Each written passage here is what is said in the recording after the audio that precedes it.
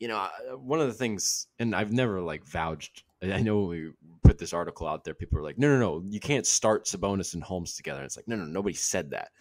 But there might be moments where you could benefit, depending on matchups, if you need a little more size or something like that.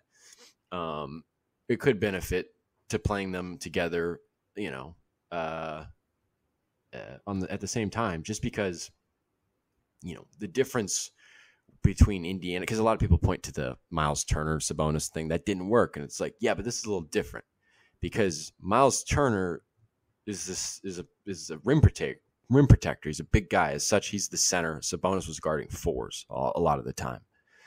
Um, if you have Holmes and Sabonis together, it flips because Sabonis is the far less athletic defender compared to Holmes. Holmes is going to be guarding more modern power forwards if he's forced to do that. And again, it would be a matchup thing. I would imagine. I don't know if you had maybe bigger opponents or a bigger front court that you're going against.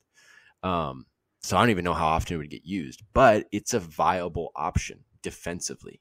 And if Len, you know, likewise, if Len is hitting threes, then playing two centers effectively together in that case, though I don't think that would be as frequently used. I think Len, if he's hitting threes, would be more of a backup to Sabonis filling in for offensive maybe purposes. But even if they were playing together, that could give them an offensive edge.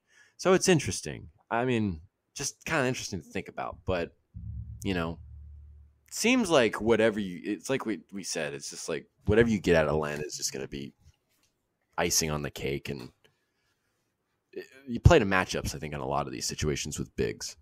But I don't know if you have any thoughts on Richaun Holmes and that whole situation or what the outlook is on the center situation. I mean, Holmes is the second center. He's the second, you know, string center. But I, I don't. I think him and Sabonis are gonna have to learn how to share the floor together. Um, I don't know. It just seems like, you know, Holmes was a big part of this team, and if you can somehow find a way to get him back into, you know, a decent role next to Sabonis, um, no, all the better.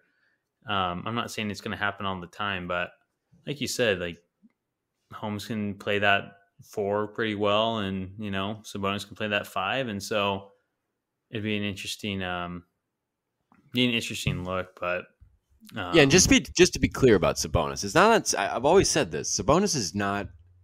He he's only a defensive liability if he's guarding fours. As a five, he's just like average, maybe a tiny bit below average, but he's average. He's gonna he plays pretty well. He's not like a physically gifted defender, and he's not like exceptional, and he's not like super burly, but he does enough.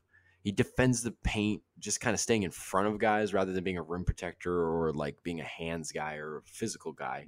He just kind of plays in the right positioning. He's a decent defender. So like he's not a bad defender as a center. He's only a bad defender when you need to play him against fours. You know what I mean? Mm-hmm. That was the mm-hmm. big mistake. I just yeah, you know, and that's know. why that didn't work. Mm-hmm. In Indiana, I don't know. Sorry, it'll be interesting.